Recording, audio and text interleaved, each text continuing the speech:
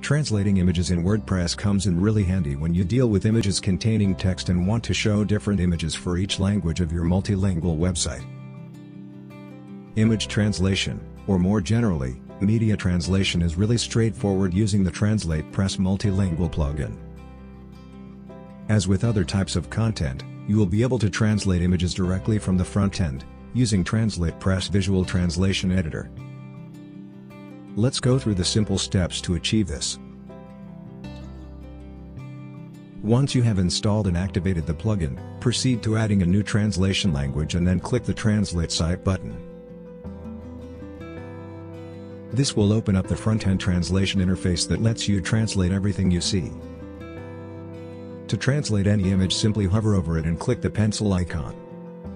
You can also select the image by name from the drop-down of strings under Images option group. Once selected, in the left sidebar you can use the Add Media button to upload a new image or select an existing one from the media library. Beside the image source, by using TranslatePress SEO Pack add-on you'll be able to also translate the image alt attribute. Translating the alt text will have a positive impact on the search engine rankings in multiple languages. If your image contains a link, TranslatePress will detect this and allow you to modify the media link or external URL based on language. Once you've added all the image details click Save Translation and you'll have different versions of the image appearing for each language. Happy translating!